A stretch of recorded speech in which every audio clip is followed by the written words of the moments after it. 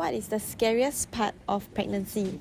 Mm, okay, actually, I don't have to think really hard about this question. So, I opt for C-sec because I don't think I can take the waiting time of a natural birth and also Rain's position wasn't ideal for natural birth. Basically, C-sec is cutting through seven layers of your skin, right? So it's so scary just hearing that.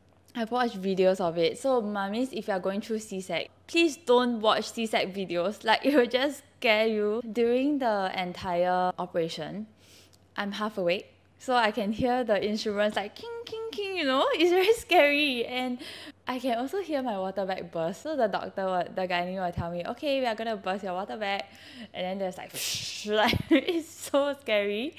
And I'm someone who can't take gore, so it says a lot. Debbie was in the operating theatre, so she told me that two doctors were, were pulling my stomach, one from the right, one from the left, so they were just like